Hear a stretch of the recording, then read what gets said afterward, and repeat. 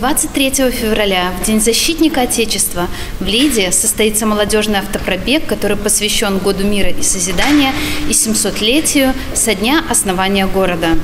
Миссия автопробега – объединить усилия молодежи по укреплению в обществе идей мира и созидательного труда и консолидации белорусского народа. Старт автопробегу будет дан у памятника основателю нашего города, князю Гильдемину, который и сегодня, величественно возвышаясь, оберегает наш город от бед и невзгод. В рамках автопробега мы посетим воинские захоронения города Лиды.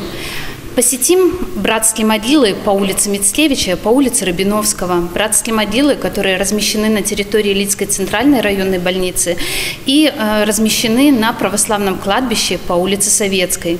Конечно, не забудем и про главный памятник, который и сегодня хранит боль всех личан, погибших в годы Великой Отечественной войны, курган бессмертия.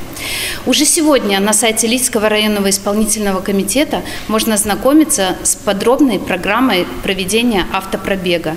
Также следите за новостями в телеграм-канале «Личина за Беларусь».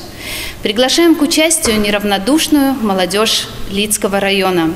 Давайте будем своим поведением достойны памяти погибших в годы Великой Отечественной войны и тех, кто подарил нам мирное небо над головой. Давайте не дадим переписать нашу историю.